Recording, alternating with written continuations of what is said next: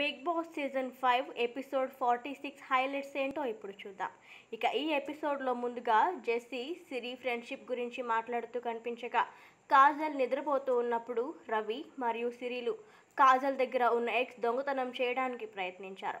ఇక కాజల్ కోడిపేట దగ్గర కోడిగుడ్లు పొందుతూ ఉన్న సమయంలో కాజల్ బుట్టలో నుంచి గుడ్లను కొట్టేసింది సిరి. ఇక మానస్కి ఒక రెడ్ ఎగ్ రావడంతో అదనంగా ఐదు గుడ్లను పొందే అవకాశం ఇచ్చారు బిగ్ బాస్.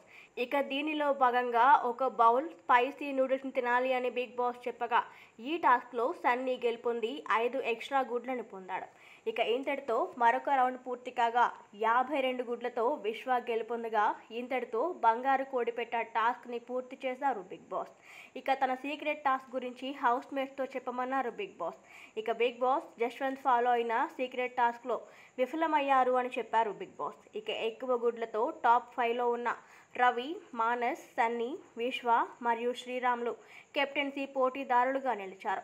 ఇక కెప్టెన్సీ కంటెండర్గా అవ్వనందుకు యానీ కంటతడి పెట్టుకోవడంతో రవి సన్నీలు ఓదార్చారు. ఇక లోబోని హౌస్లోకి పంపించారు బిగ్ బాస్. లోబోని పంపుతూ ఒక బ్లాక్ ఎగ్ మరియు గోల్డెన్ ఎగ్ ఇచ్చారు Bigg Boss. Black egg captain అయ్యే అవకాశాన్ని వెనక్కి లాగేసుకుంటుంది అని చెప్పగా గోల్డెన్ ఎగ్ మరొకరికి కెప్టెన్ అయ్యే ఛాన్స్ ఇస్తుంది అని చెప్పారు బిగ్ బాస్. ఇక జశ్వంత్ కోసం తన గుడ్లను వదులుకున్న షణ్ముఖ్ సిరి మరియు జశ్వంత్తో గొడవ పెట్టుకున్నాడు.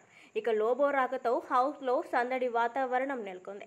ఇక లోబో దగ్గర ఉన్న బ్లాక్ ఎగ్ని శ్రీరామ్కి ఇచ్చి కెప్టెన్సీ నుంచి తప్పుకోమనడంతో రామ్ తప్పుకోగా గోల్డెన్ ఎగ్ని కాజల్కి ఇచ్చి కెప్టెన్సీ పోటీదారుగా చేశాడు లోబో.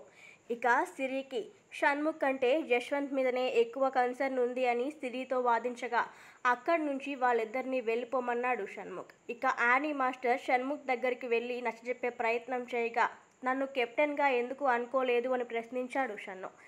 ఇక సిరికి తాను చేసిన పొరపాటును గుర్తు చేసే ప్రయత్నం చేశాడు రవి. జశ్వంత్ ఎందుకు ఆ ముగ్గురినే ఎంచుకున్నాడో ఎక్స్ప్లెయిన్ చేసే ప్రయత్నం చేశాడు ఇక సన్నీ కెప్టెన్ అయితే నేను ఆర్ఎం అవుతా అని కామెడీ చేసింది ప్రియ.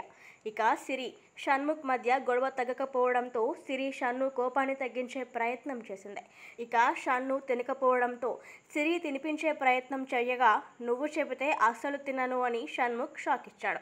ఇక రవి తినిపించే ప్రయత్నం చేశాడు షణ్ముఖ్కే.